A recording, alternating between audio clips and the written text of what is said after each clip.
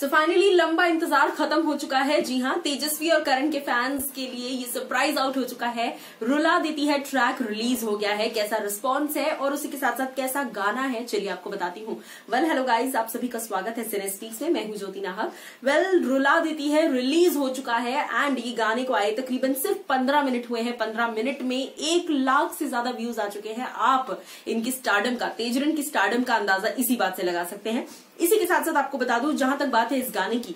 यसीर देसाई की आवाज़, करण कुंद्रा के जज्बात और तेजस्वी प्रकाश की क्यूटनेस ओवरऑल ये पैकेज है एक ब्यूटीफुल म्यूज़िक वीडियो का। जी हाँ रजत नागपाल और उन्हीं के साथ साथ अंशुल गर्ग दोनों ने ही पूरी तरह से तेजरन फैंस का ध्यान रखा है, क्योंकि कई सारे आपको क्यूट क्यूट तेजरन मोमेंट्स इस गाने में देखने को मिलेंगे।